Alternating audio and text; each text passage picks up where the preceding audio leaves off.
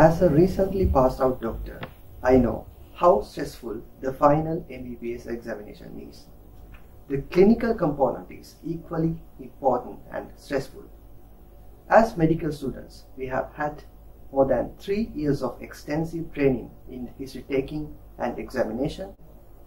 At the end, it is only a single long case and four short cases we, where we get the final assessment in the subject of medicine. So today we are going to discuss how to improve the performance in the long case and the final MBBS examination. Today with me I have Dr. Chamara Dalugama, a consultant physician and a senior lecturer in medicine who is an examiner in the final MBBS examination in Peradeniya as well as in most of the faculties of the country.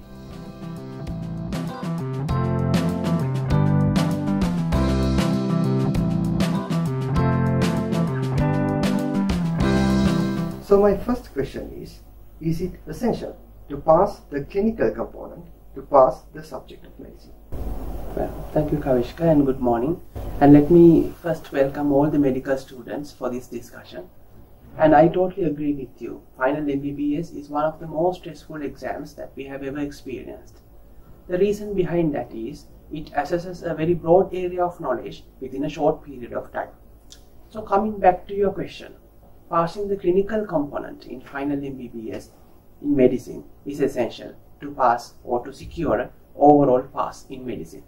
You need to score more than 50% for your clinical component which comprises one long case and four short cases and at the same time you need to have an overall mark that is clinical plus theory more than 50%. My next question is, if a student is having a sound knowledge in the subject of medicine, will it guarantee a pass in clinicals? Well, that's a difficult question, but the answer is unfortunately no, because in the long case, it's not only the knowledge that we assess. What we assess in the long case is how a student approach to a patient and how the student will extract the relevant information from the patient and present it in a very meaningful and a sensible way. So, it's rather the knowledge, it's an art. So taking a long case is an art that students should master. So this will not come with by taking just couple of long cases. So a student has to take as many as possible long cases and in fact they need to present it, it to somebody else as well. Because sometimes we see students take many long cases but they never present it to anyone. So they hardly know what their deficiencies are. And it is very dangerous that if, if the only long case that you present is in the final MBBS exam. Therefore, it is not only the knowledge that we test. Could you tell us what are the common long cases and how they are selected for the exam? Okay. So to tell you what are the common long cases, you know, common cases are common. So that is what we usually see in the board. As students doing the professorial appointment, This will be the patients that you will be taking histories in your day-to-day -day work. So usually when we select a patient for a long case, it is not the disease that we are mainly concerned about. It is the patient. So if there is a patient with some common medical problems and if the patient can narrate you a good story without confusing the candidate, if the patient can present a sensible story, that will be an ideal long case for the final MBBS exam. Therefore, we never go by the disease. We go by the patient. We talk to the patient and we see whether the, the patient can present a good history. So that patient will be selected. And let me tell you what happened in the exam day. So there will be two examiners who will be assessing the candidate. So one will be most of the time from the department itself, the internal examiner, and there will be an external examiner. You may know him because probably have worked with him when you are doing your peripheral appointment or the external examiner may be from another university. So these two examiners will come in the morning and will see this patient. So these, this patient will be seen by both examiners individually. So they will see the patient, they will take a detailed history and examine the patient. And at the end, the two examiners will talk to each other and calibrate the long case. So this calibration is an important thing that will happen for each and every long case that we give for the exam. So during the calibration, the two examiners will agree upon essential things in the history to pass the candidate. Say for instance, if you have a diabetic patient and in the history the patient has had a major hypoglycemic attack and patient has a poor vision which affects his insulin injection technique and then patient has significant social, uh, social issues. So these will be considered as essential things that the medical student should pick up in the long case. So there will be five or six essential components that we will mark as okay should student should pick up in the history. The same thing applies to the examination. The both examiners have examined the patient individually and they will have few common physical signs which are very obvious as essential things to pass. So these physical signs will be very solid physical signs. We might not consider a mild tinge of icterus or a mild pallor as essential to pass thing. But if the patient has deep jaundice, if the patient is severely pale, or if the patient has a peripheral neuropathy with lower limb ulcers, those things will be essential components in the examination. Similarly, the two examiners will agree upon a common set of problems that the medical student should appreciate at the end of the long case. So that is how the calibration happens. Okay, I think it's very clear. And my next question is, what areas are assessed in the exam? Right. So before that, uh, Kavishka, let me tell you the timing about the long case. So the timing is, we give 40 minutes for the long case with the patient. So it is not only to take the history and examination, but within that 40 minutes, we expect the student to prepare himself or herself for the discussion. So you have to take the history, you have to examine the patient, you have to make the necessary documentation, and you have to prepare a summary and a problem list, and you should have some idea how you are going to investigate this patient and manage this patient. So this whole 40 minutes is given for that purpose. And at the end of the 40 minutes, you will be directed to your two examiners, and with the examiner, you will be having another 20 minutes for the discussion. Okay, now coming back to your question, what are the areas that we assess in the long case? Okay, so at the end of this discussion, I will show you a marking scheme, a model marking scheme, how we mark the student. But first, I will go through each component of the assessment. So the first component is the history. Actually, from various components, history carries the largest bulk of marks. So in the history, actually what we expect the student is to identify the theme of the patient. So in the long case, don't go with a predetermined mind, okay, I'm going to take a history of a patient with cirrhosis, or I'm going to take a history of a patient with a myocardial infarction, but go with an open mind. Find out what's the presenting complaint of the patient. The patient might tell, okay, I have come with generalized body swelling. And then we expect you to analyze this symptom methodically.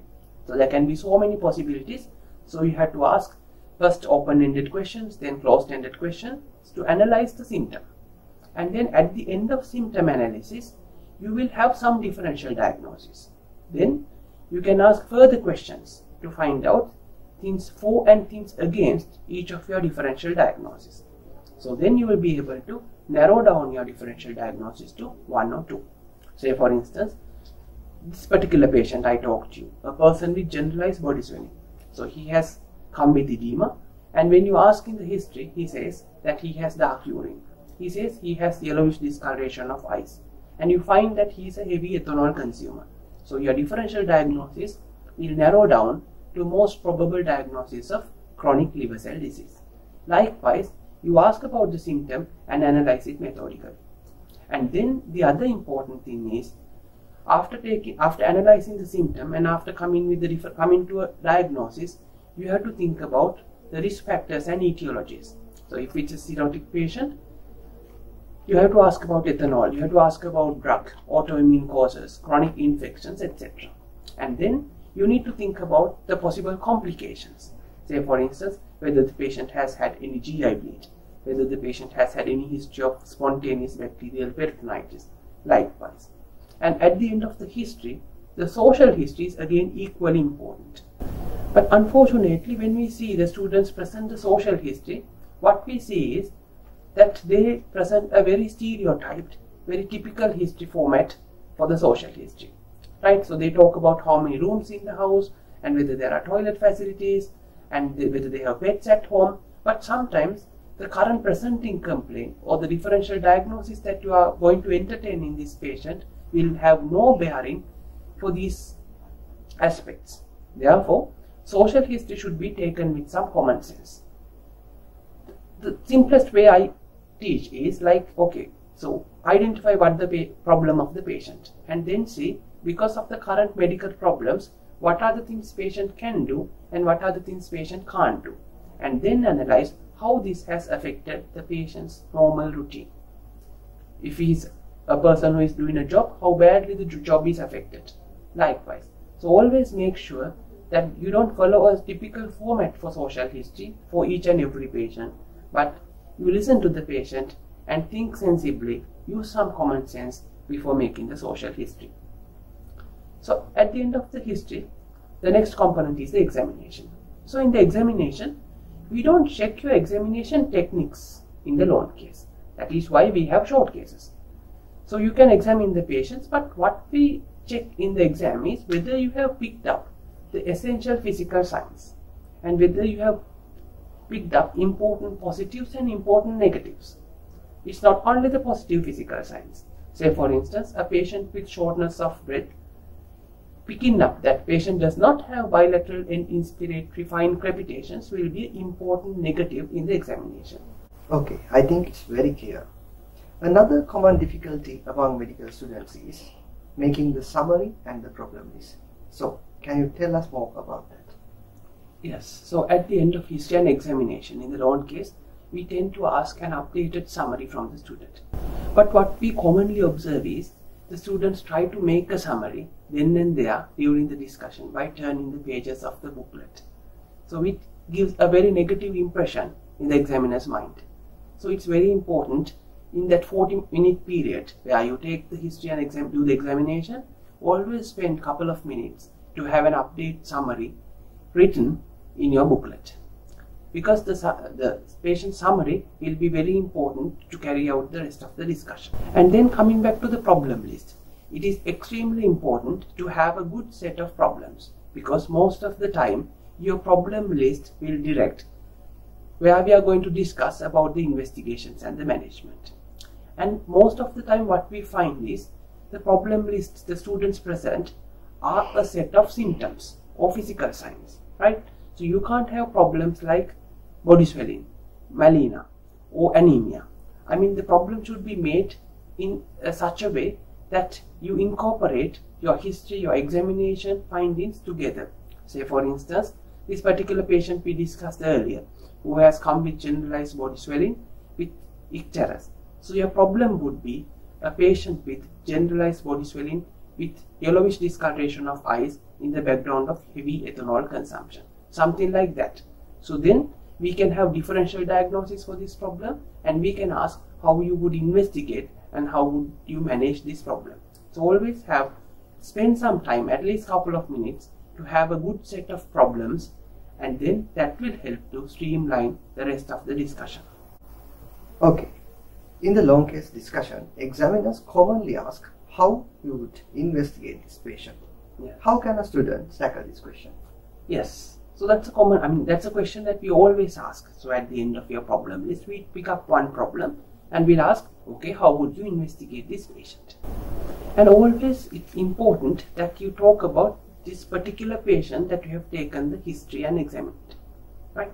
Because we don't need the textbook description or textbook list of investigations you would do for a particular illness.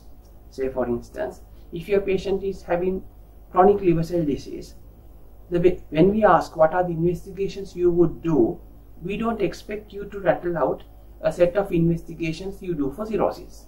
But we want you to tell your patient, say Mr. Sirisena, who has cirrhosis and who is a manual laborer in the hospital at the moment, what investigations you will do. Right? So that's again very important.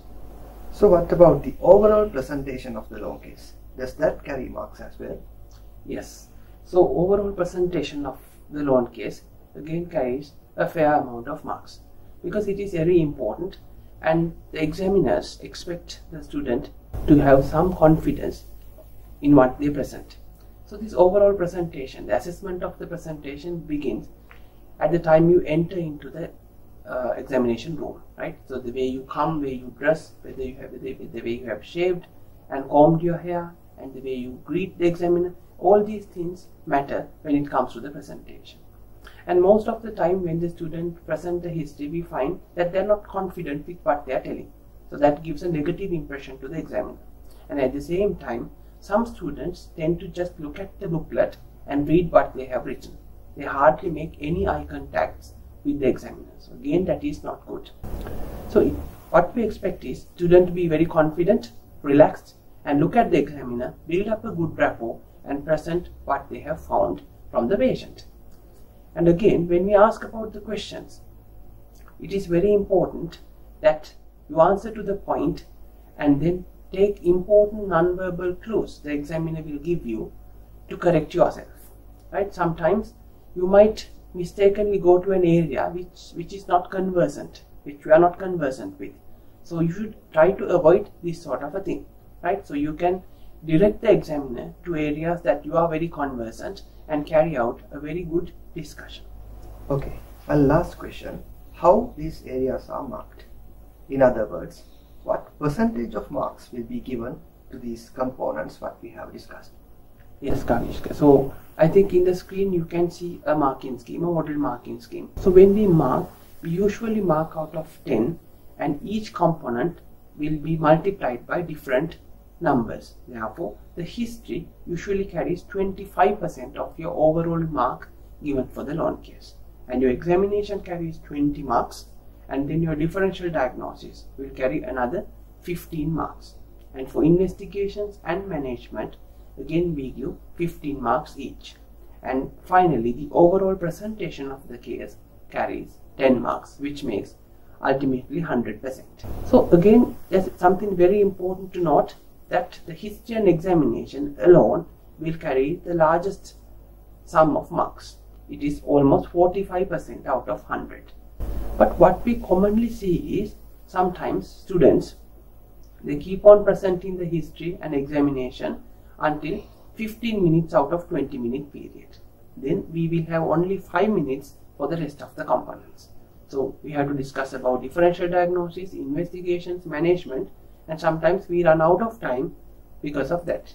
So always try to sort of manage your time when you are presenting the long case. Try your best to finish presenting the long case, the history and examination and summary within 10 minutes. So we have ample time to have a very good discussion with regard to investigations, management and then further follow-up of the patient.